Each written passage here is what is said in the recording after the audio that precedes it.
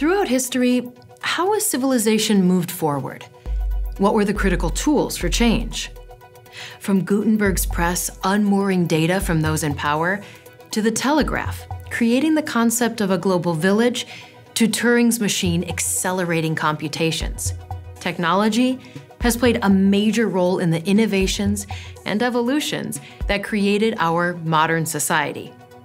Perhaps technology can be seen as the accelerant to human intention. And today, more data is created every year than has been created since the dawn of time. More video is created every day than the first 80 years of film. So, how do you keep up?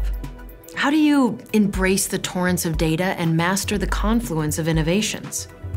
And perhaps more importantly, how do you adapt tools to new purposes to elevate the human experience?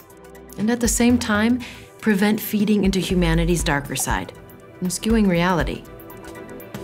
At CLA, you'll gain an understanding of where the digital world began, which will make it easier to understand and more predictable.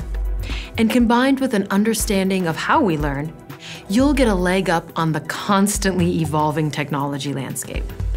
You'll learn how much power is given to so few, and how that power, like control over private information and the filter bubble, can change reality and unravel our social fabric. Through digital literacy, you'll learn to leverage knowledge of information and communications technology and media literacies, and utilize the interpersonal skills necessary to succeed in a digital space. With the digital wind at your back, what world will you build? What science fiction dreams will you make real?